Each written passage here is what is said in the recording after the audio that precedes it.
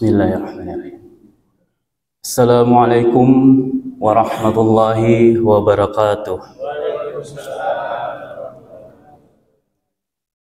Innal hamdalillah nahmaduhu wa nasta'inu wa nastaghfiruh wa na'udzu billahi min shururi anfusina wa min sayyiati a'malina. May yahdihillahu fala mudilla lahu wa may yudlil fala hadiya lahu. أشهد أن لا إله إلا الله وحده لا شريك له وأشهد أن abduhu wa ورسوله لا نبي بعد Yang terhormat Bapak Maulidi Hilal selaku Sekretaris BPSDM Hukum dan HAM beserta jajaran para orang tua kami, guru kami Bapak Arifin, Bapak Marjuki dan ada Pak Sutrisno serta hadirin jamaah Masjid Al-Maidah yang insya Allah dirahmati oleh Allah Subhanahu wa Ta'ala. Alhamdulillah, pada siang hari ini kita masih diberikan nikmat oleh Allah Subhanahu wa Ta'ala di 10 hari terakhir bulan Ramadan. Alhamdulillah, kita masih diberikan kesehatan sehingga mampu melaksanakan ibadah dalam keadaan sehat walafiat. Alhamdulillah. Pada kesempatan kali ini, tadi pagi tadi kita juga telah mengikuti majelis ilmu tentang zakat dan kesempatan ini perkenankan saya untuk menyampaikan kultum mengenai yang juga merupakan salah satu kewajiban kita sebagai umat Islam yakni menuntut ilmu. Rasulullah dalam salah satu hadis Rasulullah menyampaikan bahwa talabul ilmi faridatan ala kulli muslim. Menuntut ilmu merupakan kewajiban bagi setiap muslim, baik laki-laki, perempuan, tua, muda, dan tanpa membedakan latar belakang setiap muslim wajib untuk menuntut ilmu.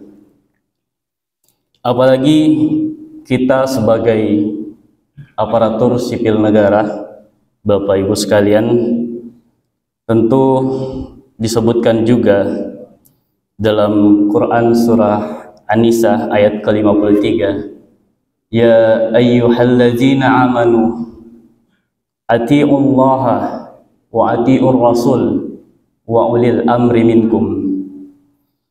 Dalam hal ini kaitannya kita sebagai orang-orang yang beriman diminta untuk taat kepada Allah, taat kepada Rasul dan juga taat kepada para penguasa atau pemerintah yang memimpin. Dalam posisi ini kita sebagai aparatur sipil negara tentu memiliki pemangku kebijakan. Namun ayat ini jangan sampai keliru kita dalam memaknainya. Khalifah Abu Bakar As-Siddiq radhiyallahu an pada saat beliau hendak dilantik menjadi khalifah Abu Bakar radhiyallahu an menyampaikan kepada rakyatnya bahwa saya berdiri di sini dilantik sebagai khalifah bukan berarti saya yang terbaik di antara kalian semua. Oleh karena itu, Khalifah Abu Bakar radhiyallahu an menyampaikan kepada rakyatnya pada saat itu, "Wahai rakyatku, patuhilah perintahku, ikutilah aku ketika atau selama aku masih sejalan dengan perintah Allah dan Rasulnya. Tapi silahkan untuk tidak mematuhi perintah atau tidak mengikutiku ketika aku sudah bertentangan dengan Allah dan Rasulnya. Jadi seperti itu kita dalam memaknai ayat tersebut bahwa Abu Bakar bahkan yang sudah dijuluki diberikan gelar sebagai asyiddiq orang yang jujur masih menyampaikan kepada rakyatnya untuk mematuhi selama Abu Bakar masih sejalan dengan perintah Allah dan Rasul. Lantas bagaimana kita sebagai pemimpin dalam berbagai sektor masing-masing untuk menjalankan kepemimpinan kita, kebijakan yang kita ambil sejalan dengan perintah Allah dan Rasul, tentu dengan ilmu. Oleh karena itu, menuntut ilmu sangat ditekankan. Lantas seperti apa ilmu yang dibutuhkan? Disebutkan man arada dunya fa'alaihi bil ilmi. Ketika kita ingin mendapat dunia, itu maka dapat diperoleh dengan ilmu. Ilmu tidak hanya diperoleh dalam kegiatan-kegiatan formal seperti pendidikan. Jadi bukan tugas seorang peserta didik, taruna, mahasiswa saja yang wajib menuntut ilmu, melainkan selama kita hidup. Utlubul ilmi minal mahdi ilal lahdi. Tuntutlah ilmu sejak sedari dalam kandungan sampai ke liang lahat. Seperti itu yang disebutkan bahwa sejak dalam kandungan bagaimana kita menuntut ilmu. Di sini di Quran surah Al-Mulk telah Allah tegaskan bahwa Kul huwallazi ansha'akum wa ja'ala lakumus sam'a wal absara wal af'idah. Bahwa manusia telah dibekali dengan pendengaran, penglihatan dan juga hati nurani. Oleh karena itu, seperti itulah yang akan kita gunakan dalam menuntut ilmu.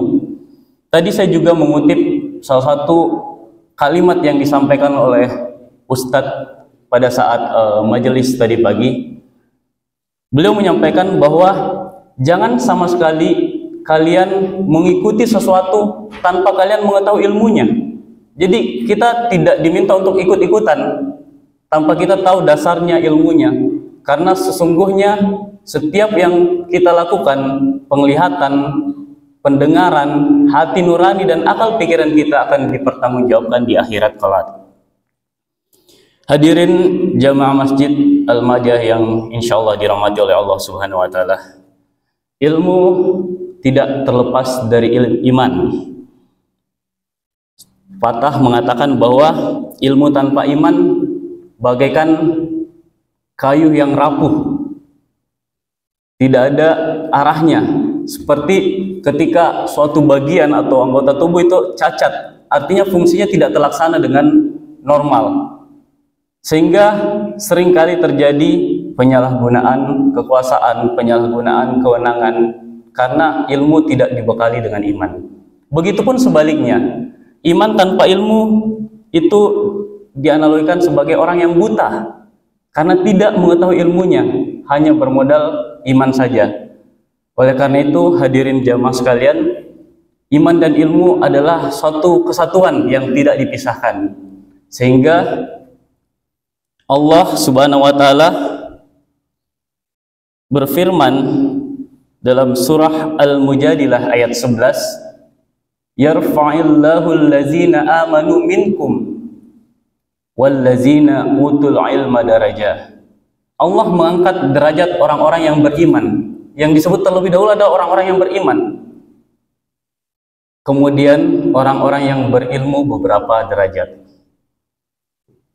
Jadi tidak dipisahkan antara iman dan ilmu tersebut sehingga ilmu dunia man arada dunya fa'alaihi bil ilmi wa man arada akhirat fa'alaihi bil ilmi ilmu akhirat juga harus diseimbangkan sehingga kita memiliki panduan pedoman dalam melaksanakan kegiatan sehari-hari baik itu kegiatan pribadi maupun kegiatan yang bersifat tugas kita sebagai aparatur sipil negara.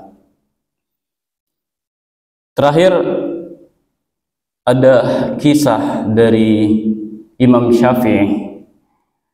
Di awal pada saat Imam Syafi'i menuntut ilmu di kota Mekah di situ gurunya sampai berkata, Syafi'i, ilmu saya sudah habis.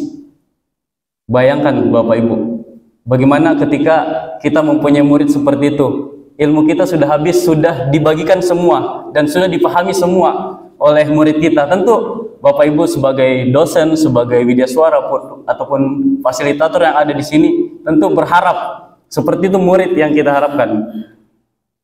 Syafi'i ilmu saya sudah habis. Silahkan kamu lanjutkan ke Madinah untuk mencari ilmu baru.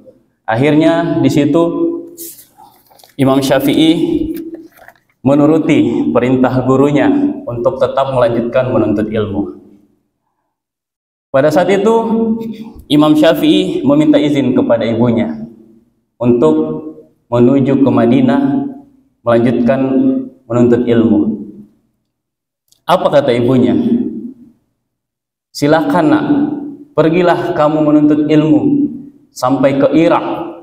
Nanti kita bertemu di akhirat saja. Masya Allah. Sampai ibunya merelakan Imam Syafi'i menuntut ilmu dan dikatakan kita bertemu nanti di akhirat saja. Tentu tidak ada yang seperti ini di saat ini. Menuntut ilmu sampai dilepas oleh orang tua, katanya nanti bertemu di akhirat saja. Akhirnya singkat cerita, Imam Syafi'i pertama-tama menuju ke Makkah dan berguru bersama Imam Malik Syafi'i dikenal sebagai murid yang sangat pintar, sangat mudah untuk mempelajari suatu ilmu. Sehingga setelah selesai dari Madinah, Imam Syafi'i lanjutkan menuntut ilmu ke negeri Irak. Di negeri Irak, Imam Syafi'i diajari oleh guru besar murid dari Imam Abu Hanifah atau Imam Hanafi. Di Irak, akhirnya karena ketekunan Imam Syafi'i menuntut ilmu, Imam Syafi'i akhirnya diminta untuk mengajar di Irak. Pada saat Imam Syafi'i sudah mengajar, sudah memiliki murid, Imam Syafi'i belum berani pulang karena mengingat pesan ibunya. Nanti kita bertemu di akhirat. Belum ada panggilan dari ibunya Imam Syafi'i. Sehingga di saat itu musim haji karena setiap tahun ibu ibunda dari Imam Syafi'i setiap tahun berangkat atau menunaikan ibadah haji di kota Mekah. Jadi Imam Syafi'i ini lahir di kota Gaza, Palestina di tahun 150 Masehi. Jadi setiap tahun ibu Imam Syafi'i menunaikan ibadah haji. Dan akhirnya pada saat di tengah melaksanakan ibadah haji, ibu Imam Syafi'i mendengar seorang ulama besar di Mekah di situ pada saat ibadah haji berkata berulang kali berkata qala qala Muhammad bin Idris Asy-Syafi'i qala Muhammad bin Idris Asy-Syafi'i lantas ibunya mendengar dan ibunya menghampiri ulama tersebut wahai syekh apa yang kamu sampaikan tadi siapa Muhammad bin Idris Asy-Syafi'i itu kata ibunya kepada ulama yang menyebutkan kalau Muhammad bin Idris Asy-Syafi'i. Kata Syekh tersebut seperti ini. Muhammad bin Idris Asy-Syafi'i adalah guru saya. Dia adalah guru saya di Irak, katanya. Lantas ibunya menyampaikan itu adalah anak saya. Kagetlah ulama tersebut, syekh tersebut. Apakah ada pesan yang bisa saya sampaikan kepada guru saya karena melihat ternyata ibunya masih hidup. Terus ibunya bilang, sampaikan kepada Syafi'i kalau dia sudah boleh pulang. Sehingga pada saat itu Syekh tersebut kembali ke Irak dan menyampaikan kepada gurunya Muhammad bin Idris Asy-Syafi'i. Syekh, guru, tadi pada saat ibadah di tanah suci, ibadah haji, saya bertemu dengan ibu. Katanya ibu Imam Syafi'i sudah mengizinkan engkau untuk kembali. Lantas sangat senang Imam Syafi'i mendengar kabar tersebut. Sehingga pada saat itu karena Imam Syafi'i merupakan guru dan di zaman itu guru adalah sangat dibanggakan, sangat di, dihormati. Sehingga pada saat itu murid-murid Imam Syafi'i seluruhnya yang ada di Irak mengumpulkan hartanya untuk diberikan sebagai hadiah kepada Imam Syafi'i yang akan kembali ke kampung halamannya. Dikumpulkan ratusan unta dan bukan cuma ada unta tapi dibekali kantong-kantong unta tersebut harta-harta yang diberikan kepada Imam Syafi'i sebagai hadiah. Terus pada saat sudah memasuki gerbang perbatasan kota, Imam Syafi'i mengutus muridnya untuk menyampaikan kabar kepada ibunya. Jadi ini amalan Bapak Ibu sekalian, amalan sunnah yang ketika kita ingin kembali bertemu orang tua bukan dengan surprise, tapi memberikan kabar terlebih dahulu. Jadi ini adalah sunnah yang diajarkan.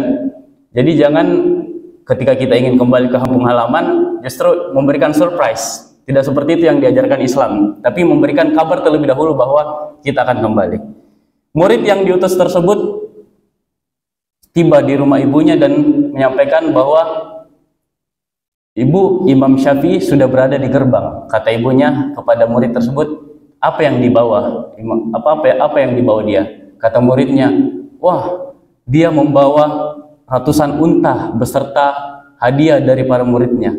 Kata ibunya apa? Suruh dia pulang. Wah, kagetlah muridnya. Aduh, apa saya salah ucap kepada ibunya? Kok ibunya tiba-tiba bilang suruh dia pulang? Saya tidak menyuruh dia untuk mencari kekayaan, mencari harta. Saya suruh dia untuk menuntut ilmu. Muridnya kembali kepada Imam Syafi'i dan menyampaikan apa yang disampaikan ibunya. Ibunya muridnya bilang, "Guru, kata ibu, ibu disuruh pulang. Apa? Kata ibu Imam Syafi'i disuruh pulang oleh ibu karena apa yang kamu bilang kepada ibu saya?